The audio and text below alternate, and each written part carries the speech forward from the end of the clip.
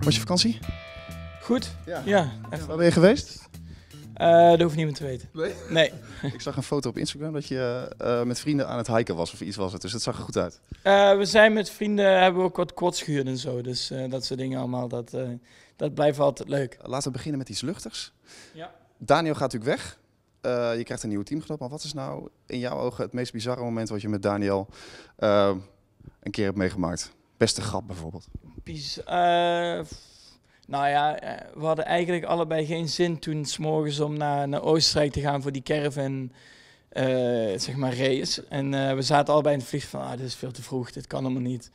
Toen, we, toen we daar eenmaal aan, aankwamen was het natuurlijk alleen maar lol en eh, driften en, eh, natuurlijk die caravan slopen. Dus uiteindelijk was het gewoon een superleuke dag. Alleen eh, als je ons had gezien s'morgens vanuit Nice eh, daar naartoe vliegen, dat was niet al te best. Wat vind je ervan dat hij weggaat? Ja, het is natuurlijk, was een beetje onverwachts ook. En ja, hij had een hele goede relatie gehad. Dus het is natuurlijk wel jammer dat, dat hij weggaat. Maar uiteindelijk, ja, het is zijn keuze. Dus hij moet natuurlijk doen waar hij zich goed bij voelt. En eh, uiteindelijk krijgt hij wel een, een goede teamgenoot voor terug. Hij is super aardig ook. En ik ken hem al vanuit het karten, dus eh, dat komt wel goed. En Max, uh, Pierre Gasly die, die rende rond in zijn onderbroek toen hij hoorde dat hij uh, volgend jaar de kans kreeg. Was jij er ook echt heel blij mee? Of, uh, en hoe zie je dat vooral dat jij nu eerste coureur zou zijn? Of die praatjes daarover, zie je dat zelf ook een beetje zo? Of vind je dat je dat, dat, je dat afgedwongen hebt? Nou, ik heb het team nog niet gezien. Dus nee.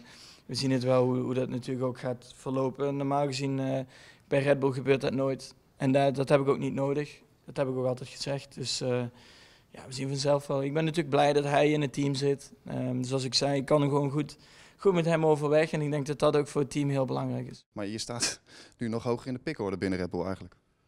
Ja, maar zoals ik al zei van tevoren, dat heb ik ook helemaal niet nodig. Nee. Kijk, je moet er, uh, uiteindelijk altijd met jezelf bezig zijn. En je moet altijd zorgen natuurlijk dat je, dat je snel bent en de snelste in het team bent. Um, en natuurlijk um, denk ik dat dit jaar sowieso uh, al een stuk beter weer is als, als vorig jaar, gewoon qua pure snelheid. Dus ja. dat is altijd goed. Maar ik denk dat het ook gewoon puur door, door uh, ervaring komt. Ja. Uh, die ervaring, brengt Gasly die ook mee in het team? Zie je gelijkenis met jou? nou ja, hij is natuurlijk nog niet zo lang in, in de Formule 1. Hè? Dus, en sowieso de stap van, van Toro Rosso naar, naar Red Bull is best wel een stap, zeg maar, qua, qua wat je moet doen op het circuit ook. En wat je nog kan veranderen in de auto. Er zitten nog wel wat, wat dingen wat je kan leren. Maar uiteindelijk, als je goed bent, dan uh, neem je dat heel snel op. Dus daar, daar, verwacht ik ook geen problemen bij. Dat heb ik ook niet gehad. Dus uh, ja, ik denk dat hij uh, over het algemeen natuurlijk wel heel blij is dat hij die, die stap maakt.